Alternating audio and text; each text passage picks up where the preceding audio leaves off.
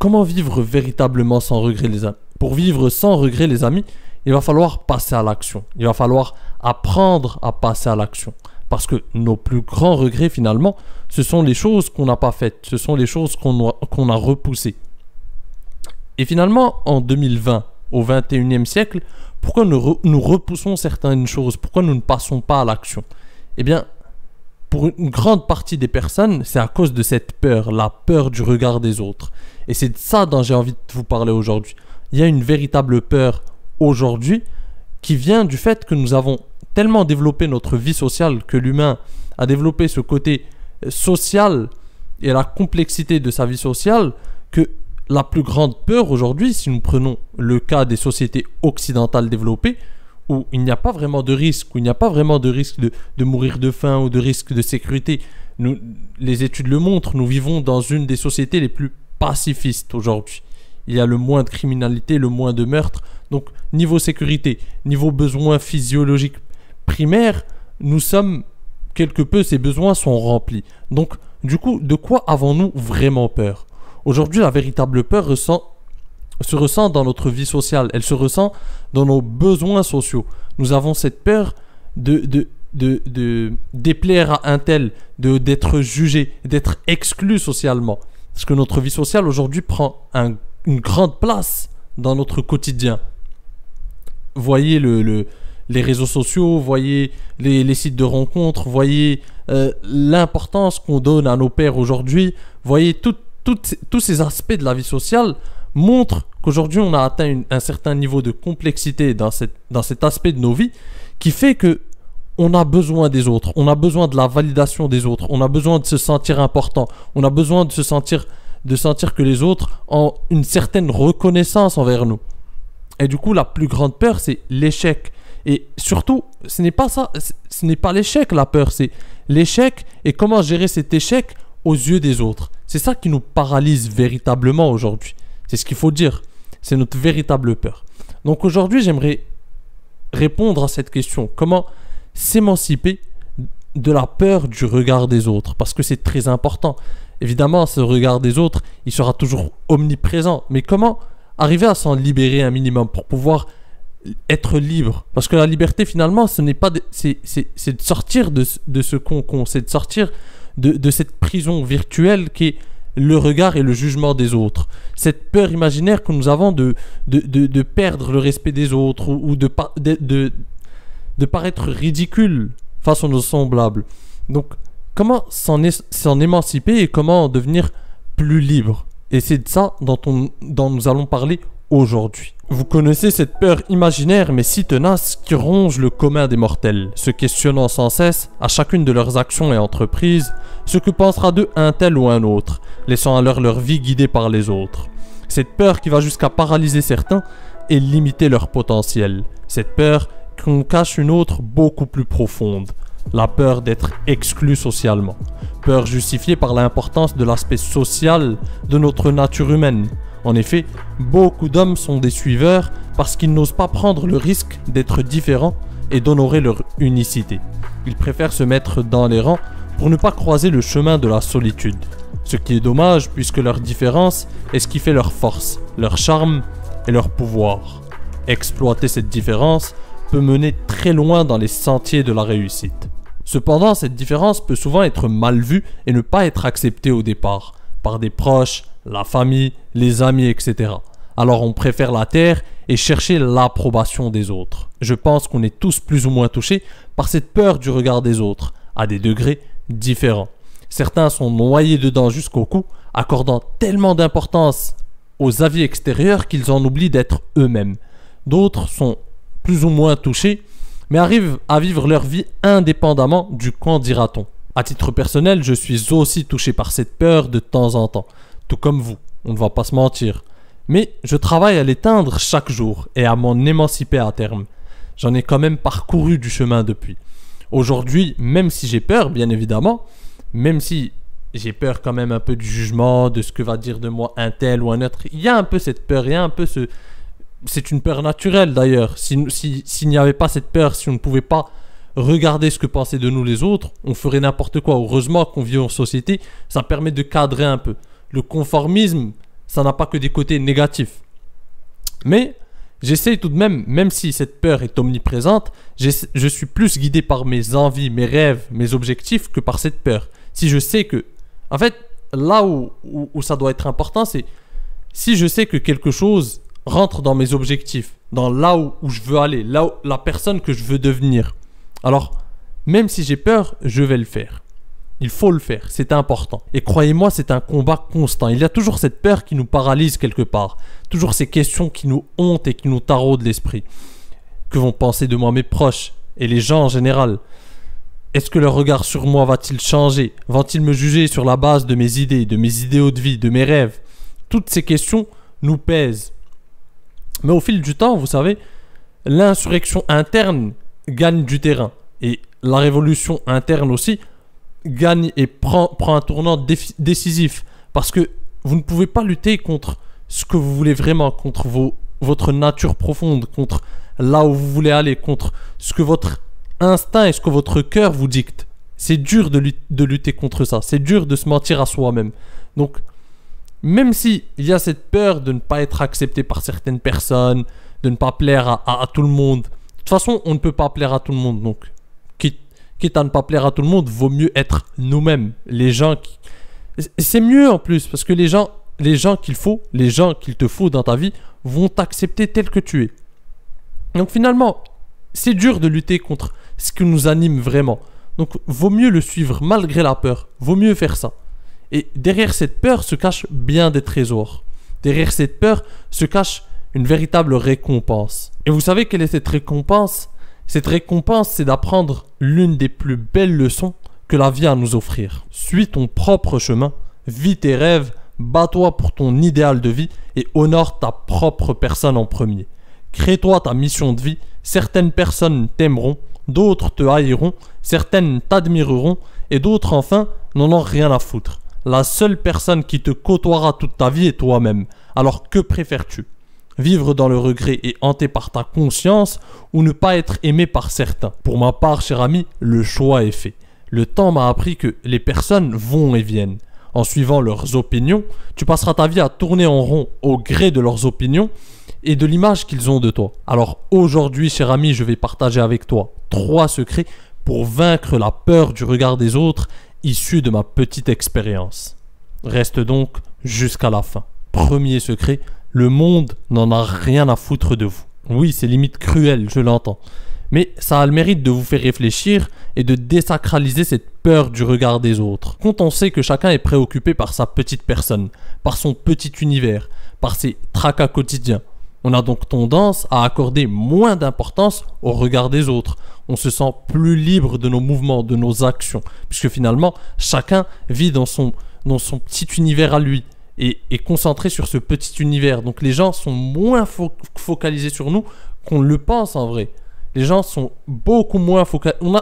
Lorsqu'on rentre quelque part, lorsqu'on circule, je sais pas, des fois on a cette, cette fausse croyance que tous les regards sont sur nous.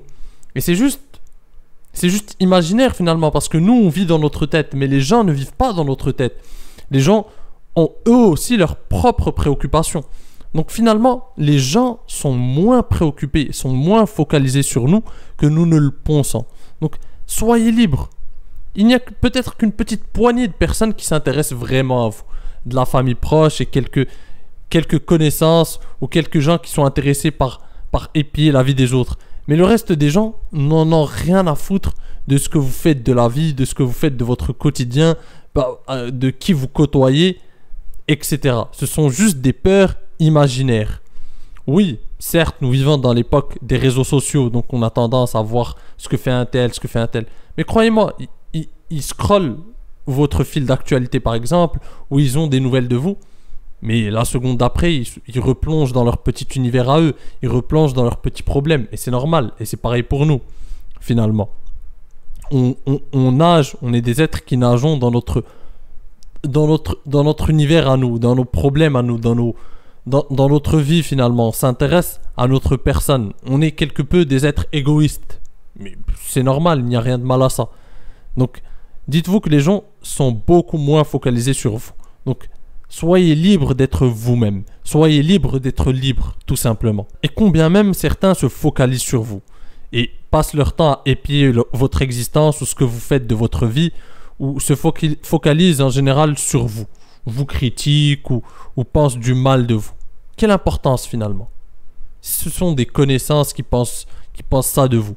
Quelle importance? Pendant qu'ils sont focalisés sur vous, vous êtes en train d'être... Vous êtes concentré sur vos objectifs, sur votre travail, sur là où vous voulez aller. Quelle importance qu'ils pensent de vous? Est-ce que ce qu'ils pensent de vous va payer vos factures? Est-ce que ce qu'ils pensent de vous va vous rapprocher de vos objectifs? Donc finalement, quelle importance? Le temps qu'ils aient fini de vous critiquer, vous avez déjà fait un pas en avant, pendant qu'eux sont encore à leur place parce qu'ils sont focalisés sur vous. Vous, vous êtes focalisé sur ce que vous faites, sur votre travail, sur vos objectifs. Et restez focus sur ça. En somme, soyez à l'écoute du silence de votre âme et non des bruits du monde. Vivez à fond votre philosophie de vie. Ne perdez pas votre temps à être quelqu'un d'autre pour satisfaire le désir des autres. En vivant en fonction du regard des autres, vous vivrez dans une prison à l'intérieur de votre tête, esclave de vos semblables. Mais vous ne pourrez pas fuir votre nature profonde éternellement.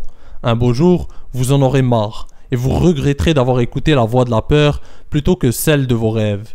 Ce jour-là, il sera peut-être trop tard et vous ne pourrez en vouloir qu'à vous-même. Les amis, faites de ce jour le premier de votre émancipation et commencez à vous défaire de la peur du regard des autres. C'est un chemin long et parsemé d'embûches, donc munissez-vous d'un désir ardent de réaliser vos rêves et de réussir votre vie. Ce qui nous amène au deuxième secret. Pour vaincre la peur du regard des autres, faites cette chose qui vous effraie tant et que vous désirez tant aussi. Il n'existe pas de meilleur moyen de vaincre une peur que de l'affronter directement. Affronter cet adversaire coriace vous affranchira et vous libérera de vos chaînes. Je suis sûr que vous avez cette envie de réaliser un rêve que vous repoussez depuis si longtemps. Vous avez peur de vous lancer et de mettre vos rêves à nu face au monde. Devant le conformisme dont font preuve vos pères, vous n'osez pas affirmer vos désirs de peur d'être jugé, d'être exclu et que sais-je encore? Alors j'ai un conseil pour vous. Lancez-vous. Quelle que soit cette chose que vous désirez tant accomplir. Que ce soit créer votre entreprise, devenir chanteur, devenir acteur, écrire un livre, quitter votre boulot, ouvrir une chaîne YouTube et faire le tour du monde. Bref, quelle que soit votre envie, réalisez-la. Parce que vos rêves vous poursuivront tout au long de votre existence. Après, bien évidemment, vous pouvez choisir de les fuir et vivre avec l'amertume de vos regrets. Mais ce n'est pas ce que je vous souhaite. Osez donc entreprendre les projets qui vous tiennent à cœur, quitte à déplaire à certains.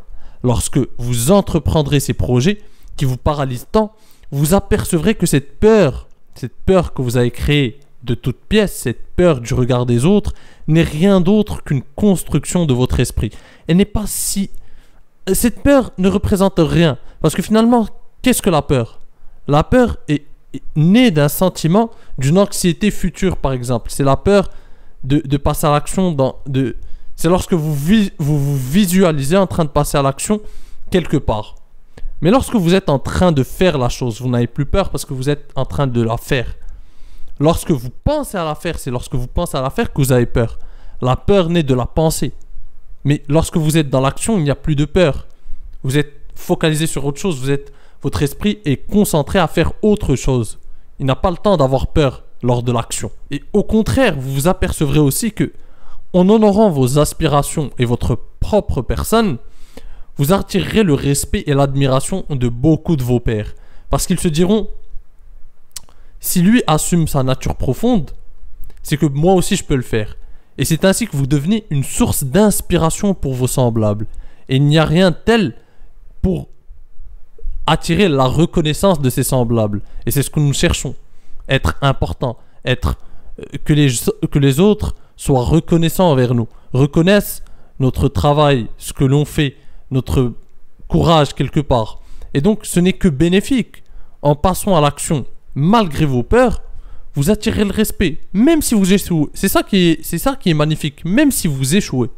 Le courage que vous avez eu pour passer à l'action, là où beaucoup d'autres nagent dans l'hésitation, euh, sont paralysés par la peur et l'hésitation, bah ça c'est un courage qui a le mérite d'être déconcertant à la fois, et, mais aussi qui a le mérite d'être quelque chose de noble finalement. Et croyez-moi, être une source d'inspiration, même si ce n'est que pour un ami, quelqu'un que vous connaissez de loin, un proche, votre, enfant, votre mère, votre oncle, ou n'importe qui, juste pour une personne, ça n'a pas de prix.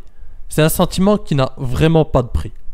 Et vous serez vraiment fier de vous. D'ailleurs, en assumant vos rêves, en assumant qui vous êtes, en assumant votre nature profonde, vous vous apercevrez que ce que pensent de vous certains n'est pas si important.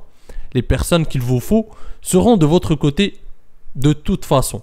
Ils vous soutiendront et vous donneront la force nécessaire pour continuer et poursuivre votre combat. Prenons conscience que nous sommes notre propre limite. Nous sommes notre vraie limite. Qu'est-ce qui nous limite vraiment dans la vie?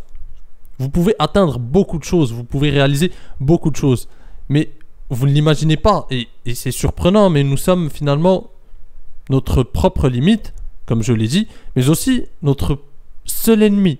Parce que s'il n'y a pas d'ennemi interne, croyez-moi, si vous gagnez les ennemis à l'intérieur de vous, vos propres démons, les démons extérieurs, ça sera de la rigolade, ça sera une partie de plaisir pour vous. Donc, nous sommes notre propre limite, et c'est à nous de transcender cette limite en affrontant nos peurs.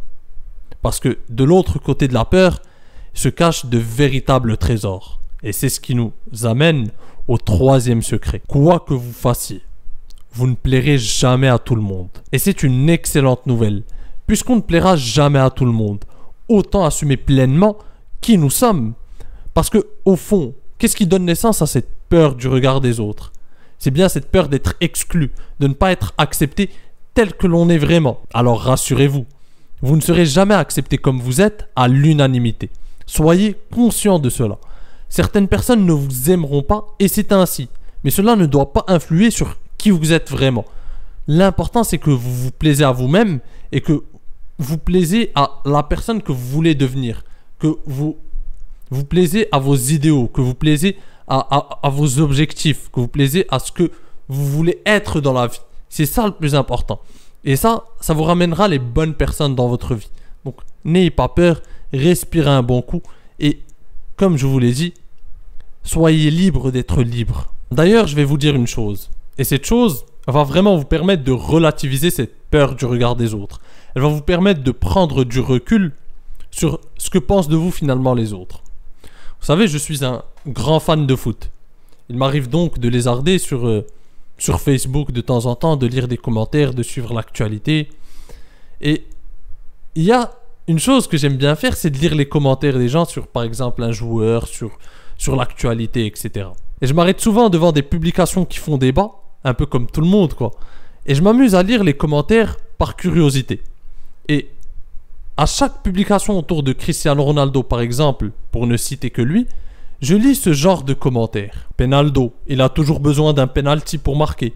Il est nul, il n'arrive pas à dribbler un défenseur. Il ne marque que des buts faciles, ses partenaires font tout le boulot pour lui.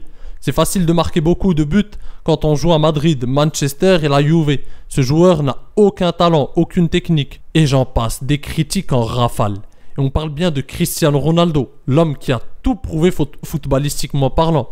5 Ligues des Champions, 5, euh, euh, je ne sais pas combien de Liga, combien de, de Première Ligue, combien de, titres de Serie A avec la Juve, 5 euh, ballons d'or.